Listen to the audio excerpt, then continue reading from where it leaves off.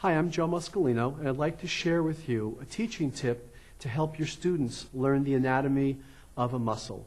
I learned this tip from a wonderful massage therapist in Michigan. I'd like to share it with you now.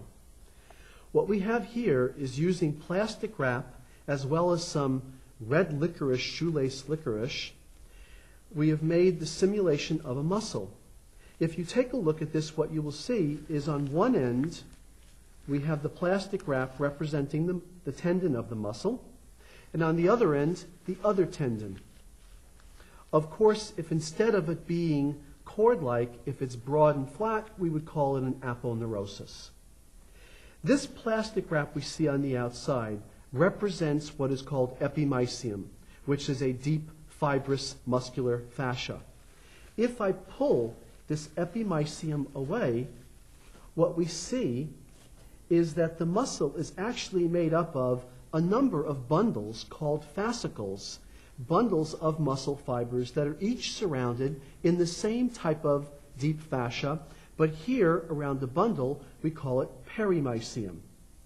If I take one of these bundles, one of these fascicles, and I open up the perimysium, then we will see that inside the bundle are a number of individual muscle fibers. Each one is surrounded again with the same fibrous fascia, but now we call it endomysium. Putting this back together, we will see that when you put the individual muscle fibers here, the endomysia combine together with the perimysium of this bundle. Then the perimysia of these bundles combined together with the epimysium of the entire muscle. So we can see that the tendon or aponeurosis of a muscle is actually made up by a combination, a melding together of the epimysium, all of the perimysia of the fascicles, and all of the endomysia of each individual muscle fiber. So for this reason, the tendon of a muscle is truly integral to the muscle and cannot be divorced from it.